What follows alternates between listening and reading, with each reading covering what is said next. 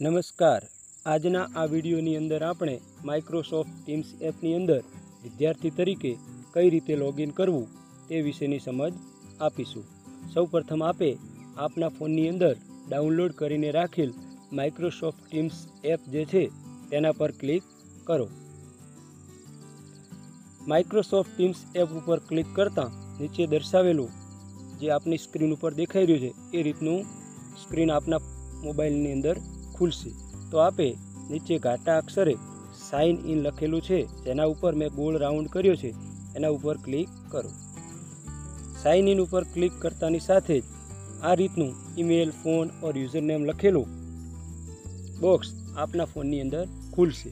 આપે આપના ગુરુજી દ્વારા આપને જે યુઝરનેમ અને પાસવર્ડ આપવામાં આવેલ છે, તે નાખી આની અંદર લોગિન કરવાનું છે. યુઝરનેમની અંદર આપને આપના અઢાર અંકના યુનિક આઈડીવાળો જે નંબર મળેલો છે, જે ઈમેલ મળેલું છે, એ અહીંયા આગળ નાખી અને આપે અહીં આગળ સાઇન ઇન લખેલું છે, તેના પર ક્લિક કરવાનું છે. સાઇન ઇન ઉપર ક્લિક કરતાં જ આપની પાસે પાસવર્ડ માંગશે. આપના ગુરુજી દ્વારા આપને જે પાસવર્ડ આપવામાં આવ્યો છે, એ આપે નાખવાનો રહેશે. દરેકનો password school at the rate એક, બે, ત્રણ રહેશે. આ પાસવર્ડ નાખ્યા બાદ આપે અહીં આગળ સાઇન ઇન લખેલું છે. તેના પર ક્લિક કરવાનું છે.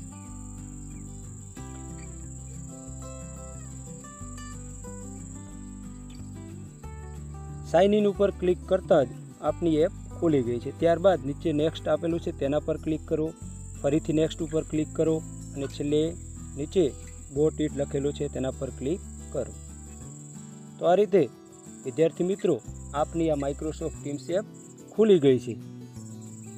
હવે પછીના વિડીયોની અંદર આપને માઇક્રોસોફ્ટ ટીમ્સ એપની અંદર કઈ રીતે વર્ચ્યુઅલ ક્લાસરૂમમાં જોઈન થવું એ વિશેની સમજ આપવામાં આવશે.